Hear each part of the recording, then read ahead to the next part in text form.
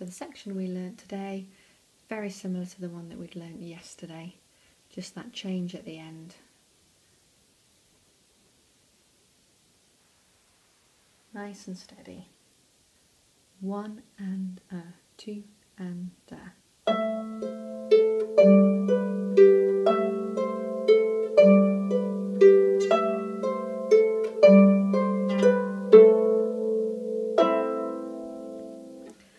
just watch, I did a little bit there, that you don't get your fingers caught on the buzzing, on the vibrating string next to it, which creates that buzz. Just watch for that. I need to watch for that. Do that section again, nice and steady.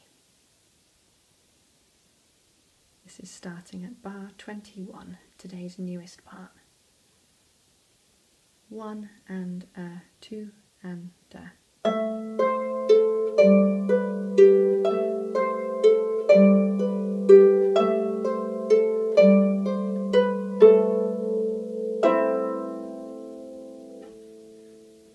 And then if we add that on to what we learnt yesterday, so we're starting at bar 17, that's the beginning of line 4.